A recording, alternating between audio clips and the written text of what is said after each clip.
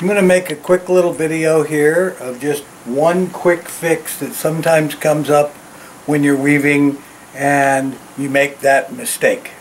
Sometimes you just cut it off.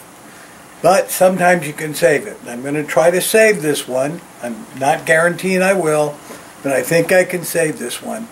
What happened was partway through a weave, I pulled a thread and it broke. And it broke where it was supposed to be a long section of thread. So that space is open now. I went ahead and finished the weave by transferring a new thread in, but it didn't fix the area where it broke. So now I'm going to try to fix it. I'm going to try to fix it with a very specific technique. What I do is I take a piece of the same color uh, material and I wet it with color preserver, which makes it a little stiff. And then I'm going to cut it, hopefully to the size that I need, and then I'm going to wet it again with a little color preserver, and then I'm going to try to slip it into place. The color preserver is almost like a glue, so it should stick in place. Then I can go back later on and put finish over the top of it. So, I'll squeeze in here and get close on this and we'll see if I can pull it off.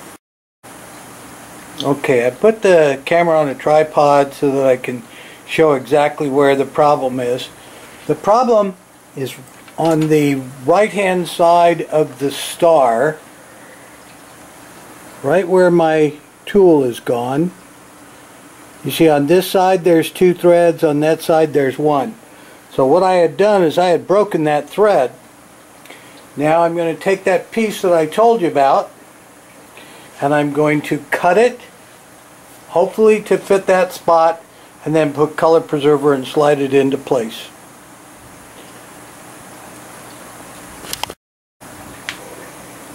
Here's a piece of the blue thread and what I've done is you can hardly tell but you see how stiff this part looks now? That's the part that I put the color preserver on. So I'm going to try to snip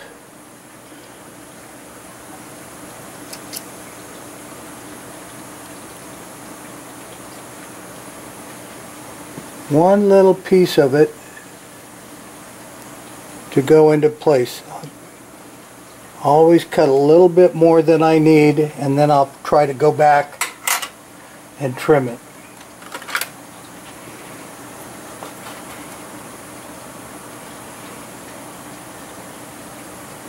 I'm going to shut the camera down for a second so I got room to work.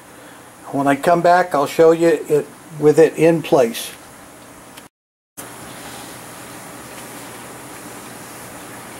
Okay, as you can see, I put that little thin piece in there.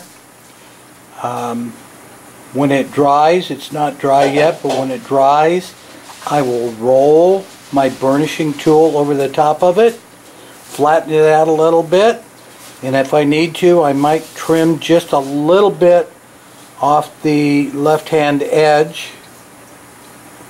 Um, I may not, just depends on what it looks like when it's all dried. Um, but that's pretty much how you can fill the slot and um, fix up the mistakes if you have to do that type of mistake when you're weaving. Most of the time I can um, repair a broken thread by either tying a knot on the two ends or inserting a whole new thread.